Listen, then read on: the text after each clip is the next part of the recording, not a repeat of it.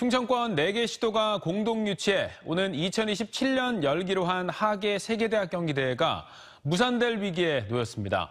문화체육관광부와 대한체육회가 의미 없는 힘겨루기를 하는 동안 지난달 말까지 해야 했던 조직위원회 구성이 기약 없이 미뤄지고 있기 때문입니다.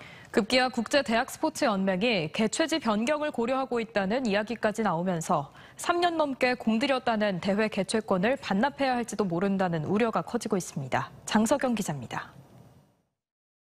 2027 충청권 하계 세계대학 경기대회에 윤광로 사무총장 내정자를 유지해야 한다는 문화체육관광부와 배제해야 한다는 대한체육회. 본질을 벗어난 양측의 한 달째 지속된 팽팽한 기싸움으로 지난달 말까지였던 조직위원회 구성은 아직도 이루어지지 못하고 있습니다.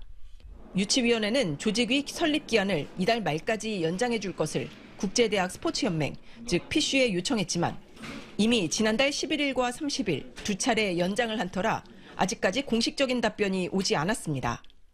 충청권과 유치 경쟁을 했던 노스캐롤라이나와 접촉을 시작하는 게 아니냐는 우려까지 나오면서 최악의 경우 충청권이 유대회를 치르지 못하게 될 수도 있습니다.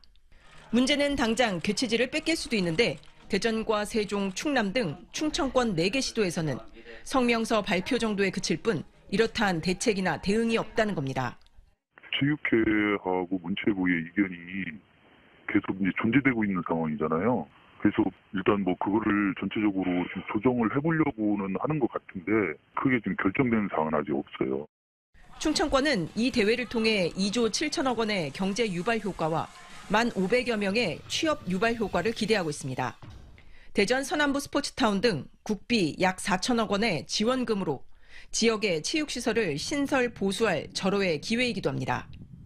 충청권 유대회가 실패하게 될 경우 향후 국제대회 유치가 어렵게 되는 건 물론이고 충청권 4개 시도가 받을 타격은 이루 말할 수 없는 겁니다. 충청권에 3조 원 이상의 피해가 발생될 겁니다. 향후 30년 내에 충청권에서는 세계 스포츠대회 개최가 불가능하게 됩니다. 국제 스포츠대회 한 번도 개최하지 못한 충청권 590만 충청인의 사기가 져야 되는 지금 위기에 있습니다. 납득 불가능한 이유로 조직위 구성을 미룬 채 힘겨루기만 하고 있는 문체부와 대한체육회. 시한을 두 차례나 연장하고도 조직위 구성이 안 된 채 그저 바라만 보고 있는 대전과 세종, 충남북.